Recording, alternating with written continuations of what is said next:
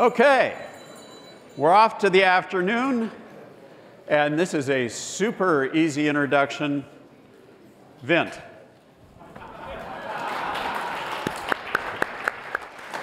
Wow. Well, thank you very much. I, you know, people shouldn't clap before you've said anything because you tend to want to sit down. It won't get any better than that. Um, and I have to ex explain to you the only reason I'm up here is that I uh, tried to support this operation and they promised to give me a little time to sermonize, so you've got to listen to the chief internet evangelist for a little while.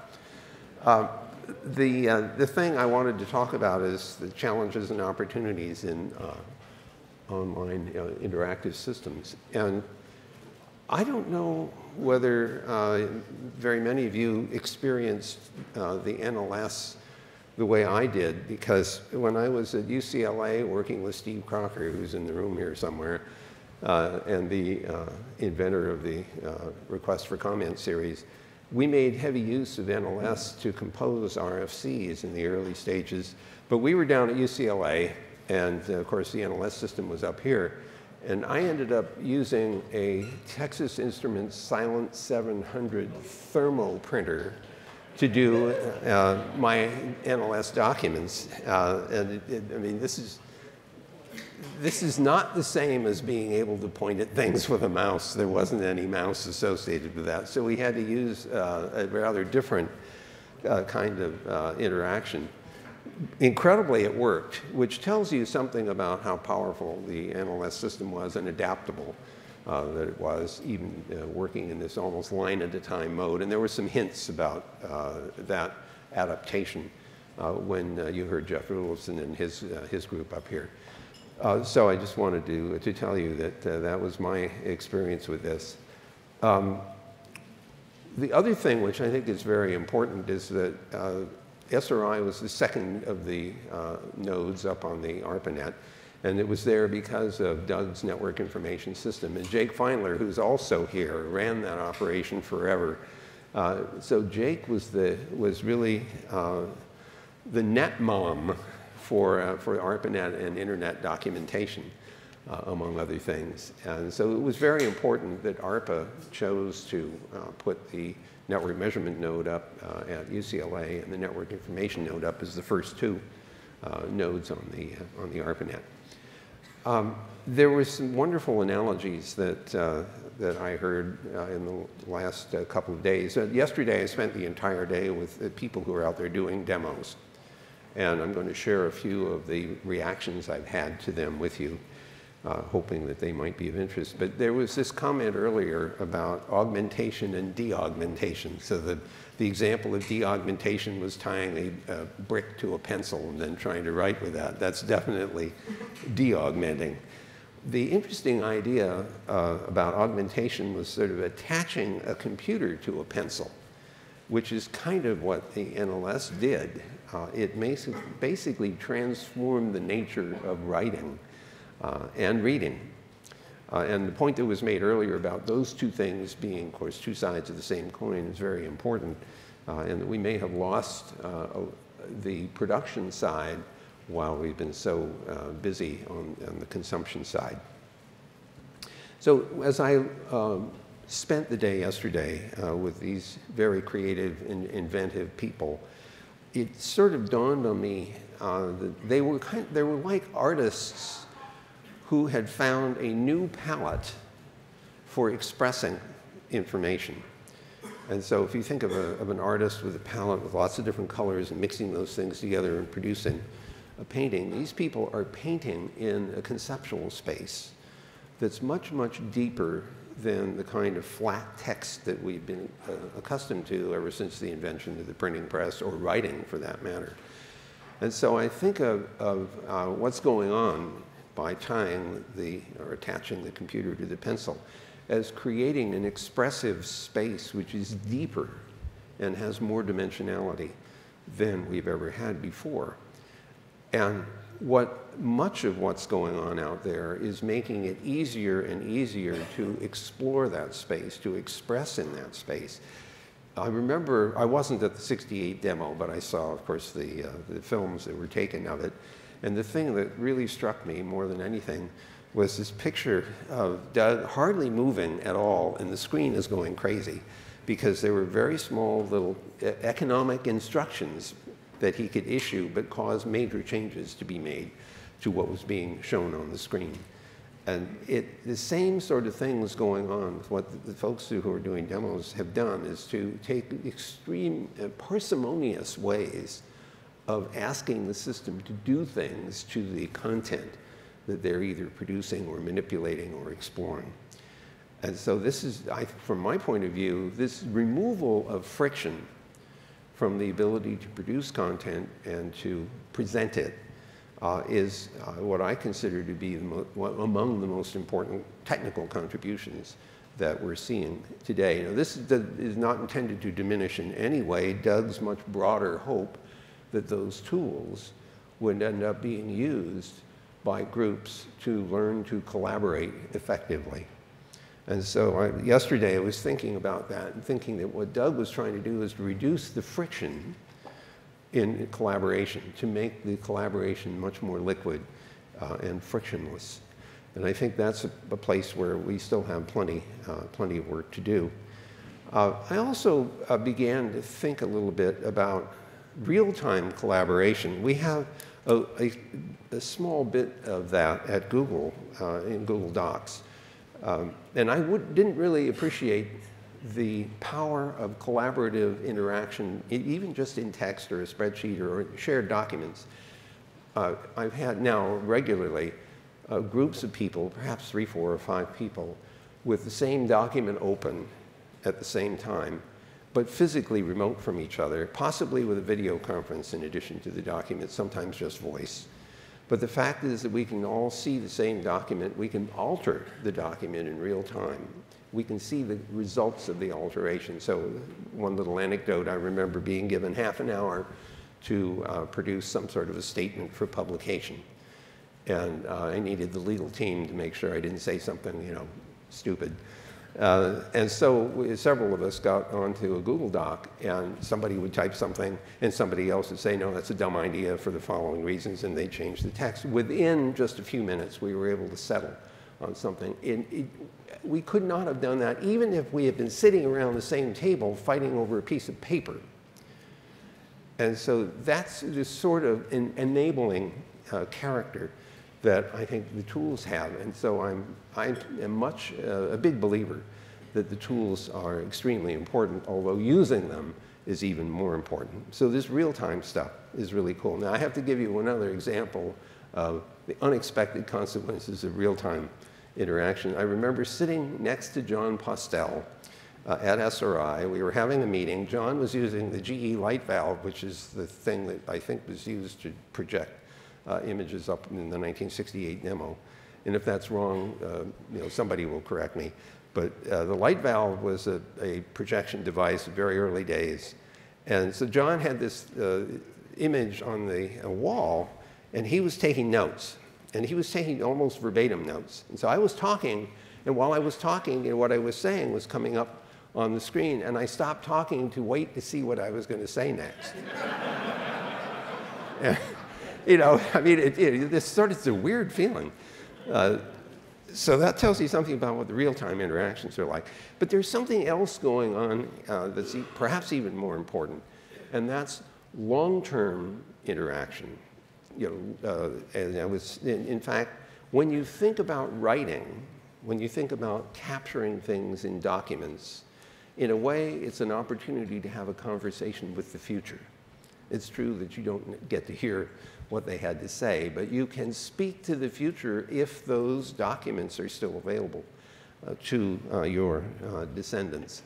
Uh, and, and so I, I, think it's important for us to remember that we can have both of those kinds of, of, uh, of uh, conversations, even though one of them tends to be one way.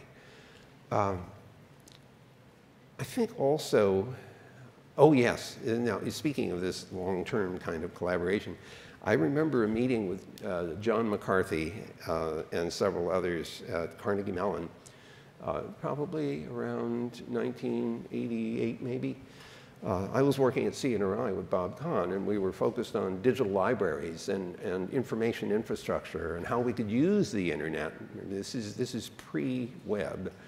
Uh, and so we're, we're talking about what could we do if we had digital libraries.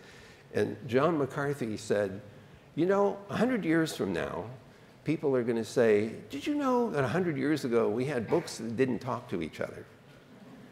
And if you think a little bit about the kinds of objects that are being created now that have this, that are embodied uh, in an online environment that sometimes have active software in them, that the possibility of these things literally interacting with each other uh, and possibly morphing over time in consequence of new content showing up is not a crazy idea. And it, it breathes life into information which historically has tended to be pretty static.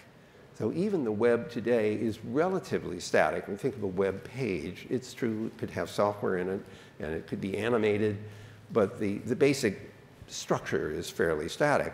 But as you start thinking about people working together, contributing over time, think of Wikipedia, for instance, uh, this, the dynamics can start to uh, appear, especially if they're self-updating. If they're, imagine documents that are searching the web for relevant content that they should refer to and discovering this on their own. I'm sure there are all kinds of silly, you know, the, maybe a dumbass idea, but, but you kind of get the idea of this dynamics that are possible. Uh, I wanted to mention something else, and that's the power of demonstrations in general. And I particularly want to draw attention to the fact that ARPA uh, has become uh, extraordinarily skilled at picking demonstrations to cause things to happen. So as an example, uh, the first, uh, this the 1968 demo is, uh, is an example of something that DARPA, ARPA, I should be careful, oh, at the time, uh, pushed for because people could see something real and concrete as opposed to purely speculative. In 1972, the ARPANET was demonstrated publicly for the first time uh, at the International Conference on Computer Communication in October of 1972 in the basement of the Washington Hilton Hotel.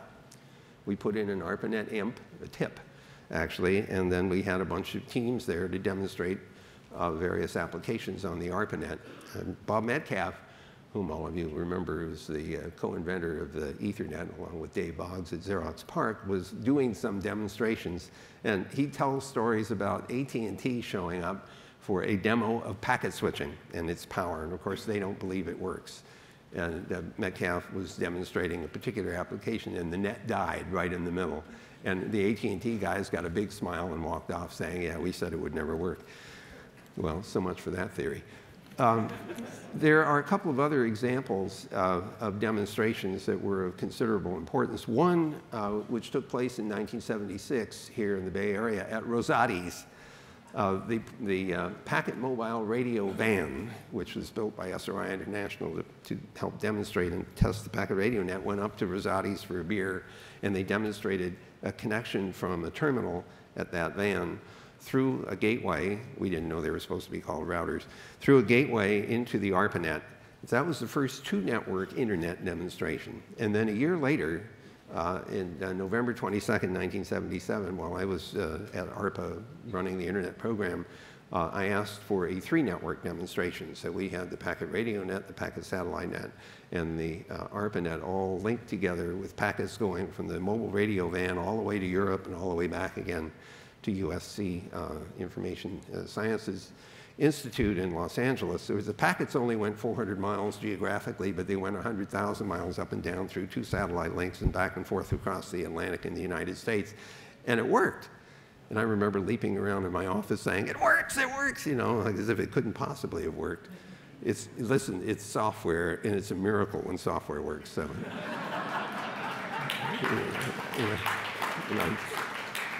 I'm, I'm not called the chief internet evangelist for nothing. I, not only do I believe in miracles, but I rely on them. Um, and in 2004, ARPA uh, asked for people to demonstrate self-driving vehicles. 2004, of course, it didn't work very well the first time. Second time, uh, seven of the vehicles made it all the way to the end of the course, and of course, many, many things have happened since then. uh, up till the present where we're starting to see commercial services. So demonstrations are often a very powerful way of making believers of people because they can actually see something work. And I think it's quite extraordinary how convincing it can be when you actually see something work as opposed to speculating about it. Now, um, having talked about all this, uh, I hope that you recognize that we have some extraordinary challenges ahead. After we have gone, you know, from things like vellum, you know, a lot of sheep and calves die for you to you know, create documents. Uh, those things lasted a thousand years. And uh, many of you know I have this uh, rant, which I won't bore you with, about the fact that all of our technologies over, over time have gotten shorter and shorter lifetimes until we finally get to the spectacular, beautiful, and wonderful digital media, which lasts for a decade or two if we're lucky. And even if the medium lasts, the readers may not. And so, you know, how many people have five and a quarter inch floppy disk drives that they're sitting around gathering dust and no reader for them unless you go to the Smithsonian. So the point I want to make here is that the power of what you're seeing in the demos, the power of what you saw uh, Doug in Doug Engelbart's demo, uh, is uh, in some ways eroded by the possibility that the objects that are um, created in this digital form may not survive because so much infrastructure has to be in place for them to be understood, interacted with, read, or you know, edited, modified, or, uh, and the like. So we need to think really hard about how to create persistence for those digital objects uh, for, to maintain their utility over time. And look, our predecessors have documents that lasted 1,000 or 2,000 years. We're nowhere close to anything like that in our space. And so I think we have a huge challenge ahead of us. Either that or the future will not know anything about uh, us uh, in their past. Um, this thing says zero, so I assume I'll be thrown away as soon as uh, our moderator tells me I should go away. But I have a couple of other things I'd, I'd like to. I can. um, I think that the other demos are good for igniting imagination, but it's not the same as operational. And so there also is a big issue getting from demo to something which is practi you know, practical and sustainable. And so there's another big issue. Sometimes the sustainability has um, less to do with the technology than it does uh, the economic business model or the possibility of changing people's attitudes and willingness to use different kinds of tools. So getting from demo to practical is also uh, a very significant challenge.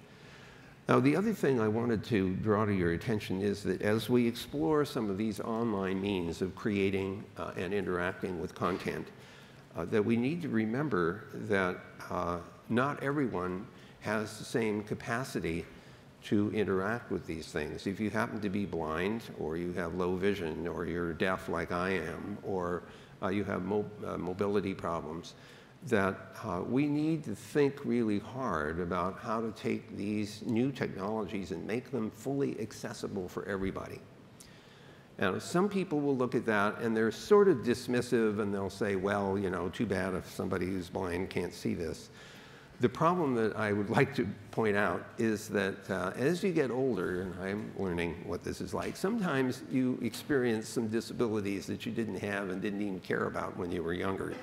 Or you may experience temporary disabilities. And sometimes I think that's the most important experience for people to have. Break a leg and spend six weeks in a wheelchair, you will discover what life is like for people who are permanently moored in a wheelchair. Or break an arm and discover that keyboards are really hard to use when you have only one hand to use them. So accessibility and usability, I think, are important. And we should not get so carried away with the uh, wonderful and rich experiences we can create with computer-aided information that we forget that we need to make it fully accessible to everyone. That's a huge design challenge. This is not sprinkling pixie dust on the code to make it accessible. This is thinking through how will I make this application usable for people with a wide range of, uh, of challenges. And so I hope that the folks who are exploring these advances beyond where uh, even Doug had been had implemented, not thinking, but not, not where he thought, but where he was able to implement, that they keep that in mind as well. So I think uh, I, I, really, oh, I have one, only one other point, and then I'll get out of your hair. Um, I th think for just a minute about some of the uh, panels that you uh, heard, especially the one that Brewster uh, Kahle and uh, Tim Berners-Lee uh, and Tim O'Reilly were on, thinking about the rich information environment that, that I took away from their discussion. And I'm thinking, how do we curate that? Because the medium does not confer veracity on anything. The, we can print fiction just as well as we can print uh, truth. We can express these in these media. The medium is not going to help us very much. We also have one other problem, and which I'll finish with so that you can uh, get on with it. Uh, you remember Turing, the Turing test? You remember how that worked? The Turing had a human being interrogating a person in a computer, and the task was to, for the person to figure out which one was the computer and which was the human. And if the computer succeeded in fooling the interrogator, then the computer passed the Turing test because it was not distinguishable from being a human. Now there's Turing test two. What is that? That's a computer interacting with a human and a computer. And the test is, can the computer figure out which is the human and which is the computer?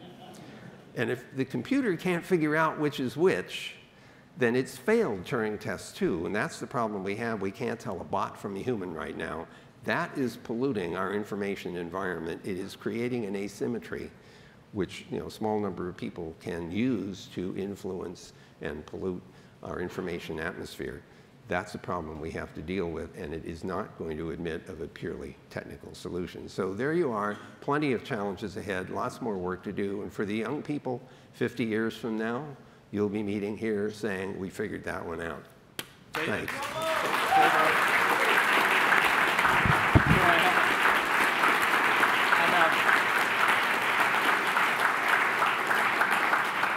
I have one observation and a question for you. The observation is there's a Turing test three. Ah, what's and that? the Turing test is when we have machines that consistently pass the Turing test, we're going to discover what percentage of the human population fails the Turing test. and in this, this particular moment in time, I fear it may be very high. Um, as I think about the future you're painting, I think I have a metric for it. How many miles do you fly per year in airplanes? Uh, you, uh, let me make sure that we express this correctly. I am flown in the air. I don't fly the airplane, but the answer is. He got here and boy, are his arms tired. yes. I, look, I'm an engineer. I'm literal minded. So you're uh, self-floating. About 300, about 300,000 miles. About 300,000. So um, I would call that, that's an indicator, and I would put a name on it. Let's call it the vindicator. that the year you stand up on this stage and you say, I haven't been on a plane in 12 months, we know the future's wow. arrived. Wow. So let me tell you the benefit of all that travel. Uh, my wife and I just celebrated our 52nd wedding anniversary in September.